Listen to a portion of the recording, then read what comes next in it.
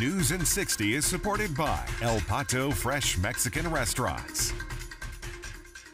Customers of the North Alamo Water Supply Company are going to start paying more for water services. The company says they're raising prices because the price for the chemicals they use to keep the water clean have gone up. The new water rate starts in September. Burn bans are in effect in Cameron, Hidalgo, and Starr counties. Willacy is one of the only areas in the entire state not under a burn ban. Anyone caught illegally burning could be hit with a fine. The Valley High School football season kicks off tonight. There are five games featuring teams from the Valley. They all start at 7 p.m. tonight, and tomorrow, more than a dozen Valley football teams will be starting their season.